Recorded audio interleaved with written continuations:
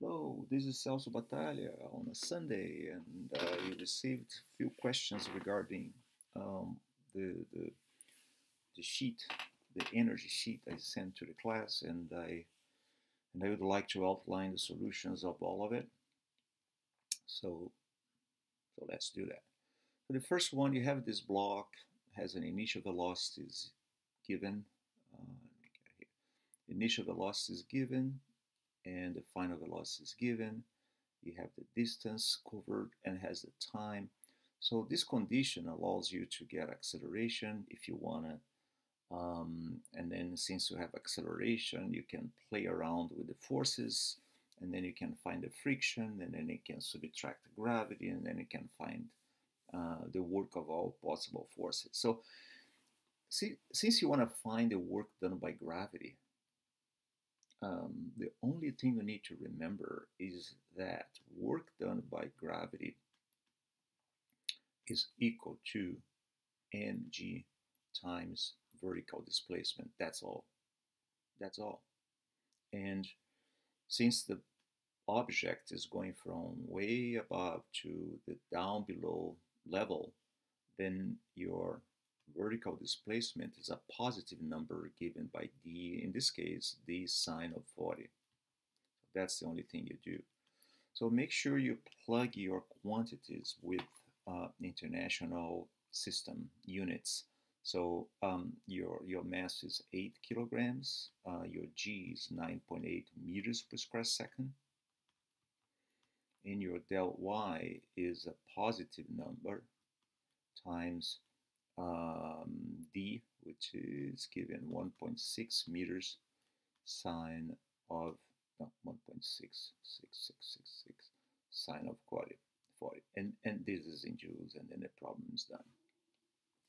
A more complicated and tiresome approach, but you could you could do just to check the numbers, is that you know that the total work, the work of all forces, is equal to the change in kinetic energy so you have the change in kinetic energy because the two speeds are given, so final and initial, and the work done by all forces is the work done by normal force, which is zero, plus the work done by gravity, which you want to find, plus the work done by friction, which is a negative work.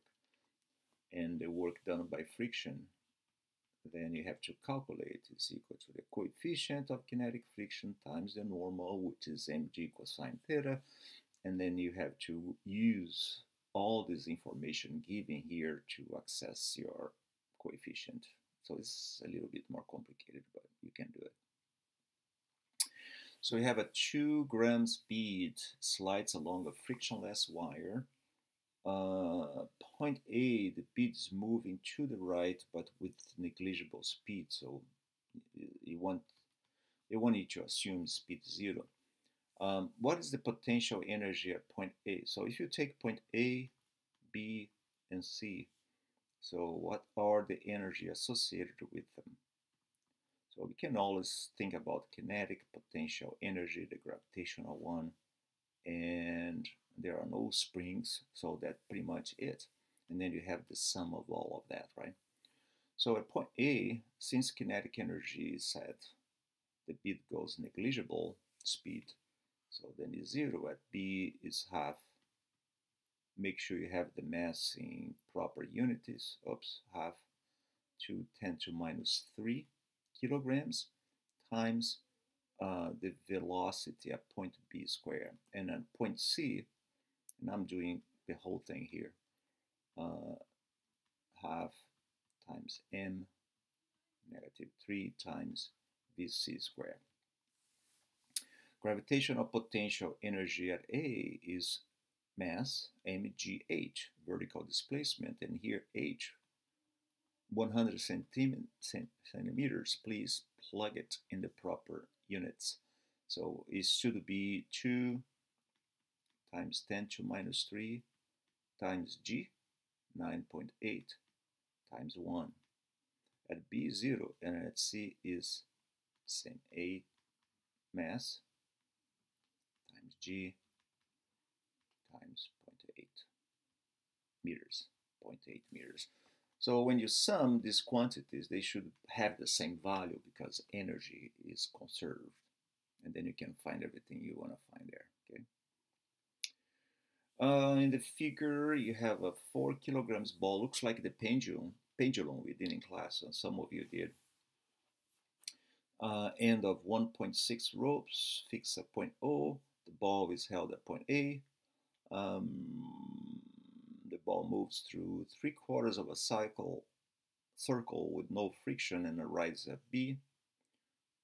Okay, with the rope barely under tension at B. So basically it says that when it gets at B, if you if you do a free body diagram on it, there is only gravity since the tension is gone. The word the word barely here tells it all tells us all. What is it? Oh, I lost it.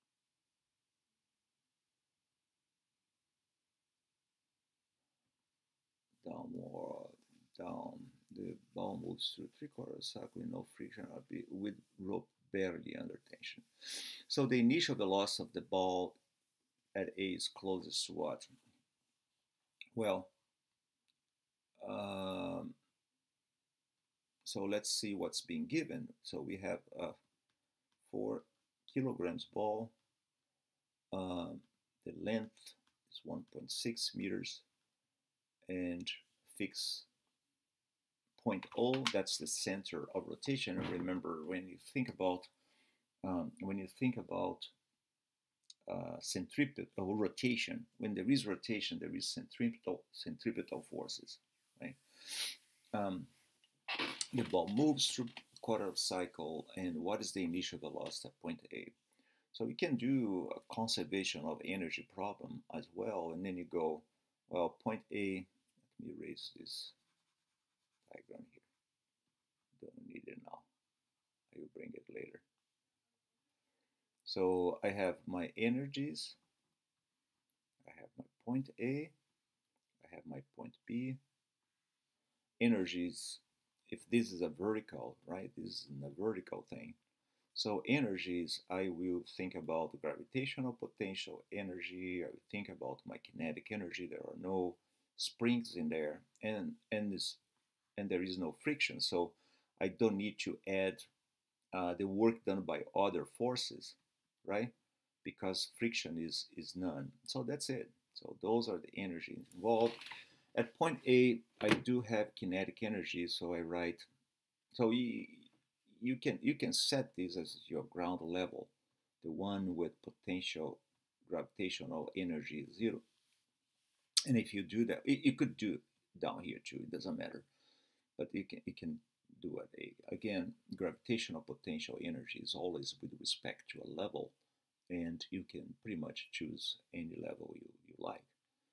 Um, you watch what you shouldn't forget is that if your mass is above that level, it's a positive gravitational potential energy difference, and if it's below, it's going to be a negative one.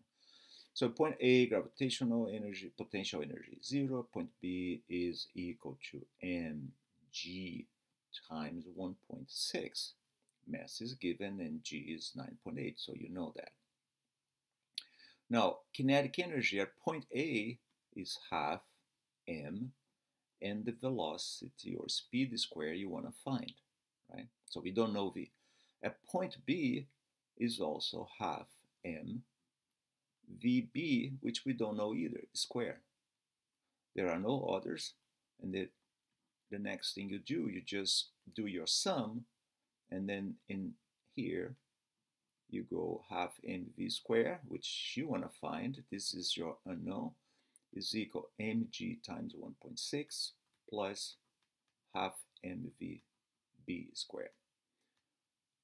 So m goes away, it's not an issue. So the point is I can't solve because I have only one equation and two unknowns. But where there is rotation, there is centripetal force, and then it's we haven't used yet the condition, the tension is pretty much gone at point B, which means at point B, the only force acting there is gravity, right? And therefore, since that is the only force, that is the net force, which means this is your centripetal force. So that Fg, let me write here in the corner, So Fg, which is mg, is equal to mvb square vb square over r, which is 1.6. And then you can find your vb from here. So once you find the vb square, you plug it in here, and then you have your v. Uh, in the figure, a very small toy race car mass m is released from rest, blah, blah, blah. If it is released at height 2r, 2r above the floor, how high is it above the floor when it leaves?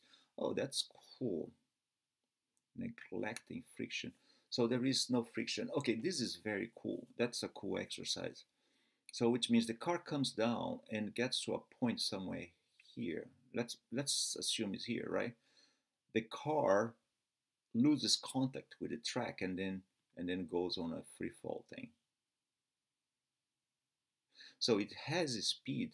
It has a speed here. It has a speed, but um, but what happened at that point? Well, if you do a free body diagram diagram of the car at that point when it's leaving the track, which means the normal force which you which which you have in other situations is not there anymore. So the only really acting force is gravity, like the previous exercise. FG. In, in fact, um, this is a good good exercise for project if you want to do Logger Pro and, and film and, and and get a cart and a track, we could try to arrange that. This is a good one. This is a good one. Um, so what you do, you go uh, point A, point B. See the same mantra. It's always the same. You have your energies. Uh, there are no frictions, so there are only gravitational potential, energy, kinetic energy, right? So at point A, uh, release from rest. So uh, kinetic energy is zero. At point B, you have a kinetic energy half mvb square. Looks like we, we have to do something similar to what we did before. And at A, with respect to the lower level right here, so this is my PEG equals zero, then um, mg2r and then point B, point B is mg, you know what, I'm going to do something like this. This is pretty much R, and this is pretty much H. mgr plus H. I'm kind of a separating in quantities I know. So when, when you add those two, then you have mg to r should be equal to mg r plus h plus half mvb square, vb square. So your mg R is gonna, one of your MGR will be canceled. So this is something you can solve. The problem is to figure um, exactly um, what is what is this point over here, right? So if you look at this uh, triangle over here, right? This is when the, the, the mass is released. We have an angle theta right there, right? We have an angle theta. And sine of theta sine of theta is equal to h over r. So basically h is equal r sine theta. Now let me see if I can get anything else. The other thing that I know is that um, uh, at this point the only acting force is gravity, which means um, when you project gravity along the direction of rotation, that defines your that defines your centripetal force. Remember what centripetal force is again. Centripetal force is the net of all existing forces along the direction of rotation. In this case, uh, there is only one force, Fg. So then let's project this force along the direction of rotation and, and get the work done. So, uh, in other words, we want to project Fg project along the direction of rotation. It's called here radial, uh, radial, right? Is your centripetal force, which is mvb square over r. Okay, that's your centripetal force. But what is Fg radial? What is Fg projected along that direction of rotation? Uh, this angle is theta. This angle here, if you look at the triangle, is 90 minus theta, right? 90 minus theta. 90 minus theta. So Fg radial, Fg radial, it is Fg cosine of that angle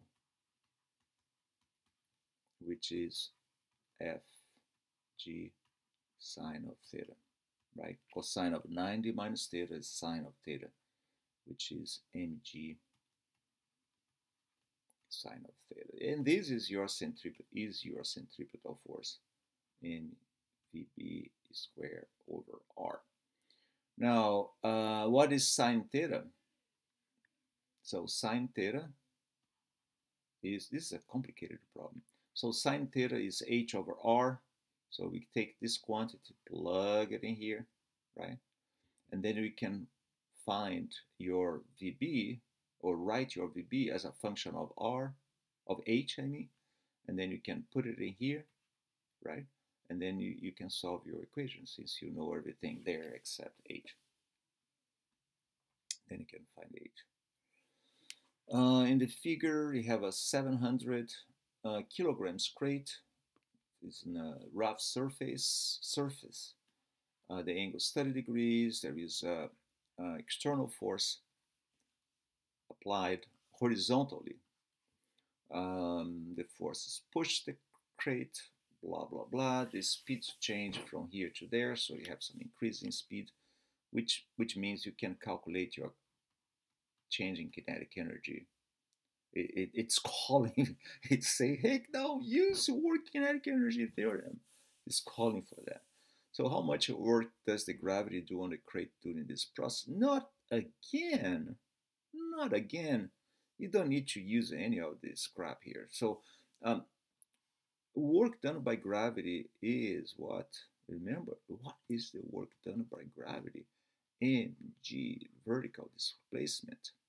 Now, the vertical displacement here is it's it's so if you take your final your base level here so your mass is moving from way above way below to way above right so that is your displacement it's a negative one so the work done by gravity is negative mg vertical displacement is 3 sine of 30 and that's it move on Uh, in the figure, we have a block, five kilograms that's moving with a certain speed. Uh, frictionless, there is no friction, so the speed does not change. So the speed is going to be the same when the block touches the, the spring. After the block collides with the spring, the spring is compressed a maximum distance. So the maximum compressed distance is 0.68. You know there is a potential energy there. What is the speed of the block when it has moved so that the spring is compressed only half ooh, of the maximum distance? So half of the maximum distance at this point, right? At this point, so let's say point A is when it touched the spring, point B is ha half of that maximum distance, okay? So you point A's and B's, you just outline there to your energy table. Kinetic energy, point A, half um, M V square, right? Point B is half M VB square, which we want to find, right? What's the speed of the block? Done with kinetic. How about gravitational potential energy? In both cases, the same. Now, I could give this problem, that's a good problem for an exam, uh, that is exactly the same except it is in a slope. So if it's a slope, be careful. Um, you have to set your baselines and see where the block goes like we did previously here. I could I could put a spring here, right? And this ex, ex I, I could give this problem and bundle with the other one in exam, putting a spring there, and um, once the block touches the spring and move up, um, the spring is not only doing potential energy but also gravity is changing the gravitational potential energy. But in this case, flat it doesn't change. So PE of the spring is the next one to consider. At A, the spring is not compressed yet, so it's relaxed. And what you got is zero. At point B is half K, um, half of that compression square. Half of that compression square. And the problem is done, except, ooh la la, K is not given, right? because see when you add those quantities sum so you you you have this part number and in this part you have two unknowns you have k and you have vb so how can you solve for that well we didn't use the condition that 0.68 is maximum compression and that is half m va square so we have to do this again is equal maximum compression the block stops. So kinetic energy is zero. And, and, then, and then this is what you got. Okay. In other words, uh, you can find K, plug a K in there, and have the problem solved.